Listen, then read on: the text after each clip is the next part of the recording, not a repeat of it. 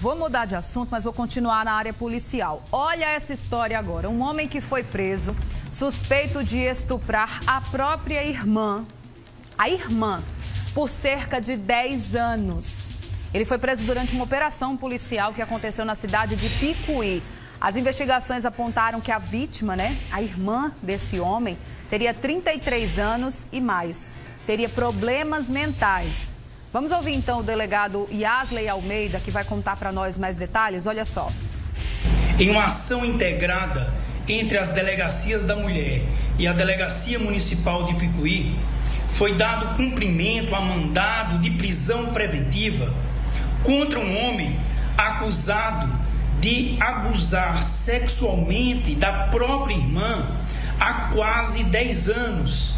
Irmã que é acometida de anomalia mental, sendo considerada pessoa vulnerável e sem capacidade de resistir às investidas criminosas de ordem sexual. Assim chegou o conhecimento da delegacia da mulher a prática desses bárbaros delitos em maio do corrente ano, foi instaurado imediato inquérito policial e após toda a colheita probatória de testemunhas e dos laudos periciais que confirmaram a prática da conjunção carnal, se representou pela prisão preventiva do acusado, que culminou no cumprimento do mandado.